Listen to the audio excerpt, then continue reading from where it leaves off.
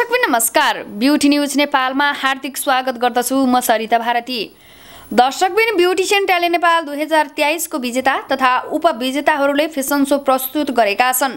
काठमाडौँको रविवनमा रहेको रोज ब्युटी एकाडेमीले आयोजना गरेको सो एकाडेमीको तेइसौँ वार्षिक उत्सव समारोहमा ब्युटिसियन ट्यालेन्ट नेपाल दुई हजार तेइसको विजेता तथा उपविजेताहरूले फेसन प्रस्तुत गरेका हुन्।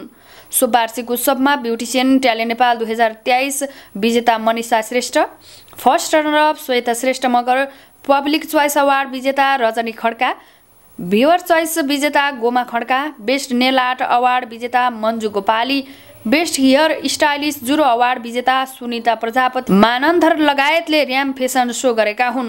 फेसन सोको क्रममा ऱ्याम्पमा उनीहरूले लेहेङ्गामा उत्रिएका थिए। सोबारे यहाँ एक रिपोर्ट प्रस्तुत गरिएको छ।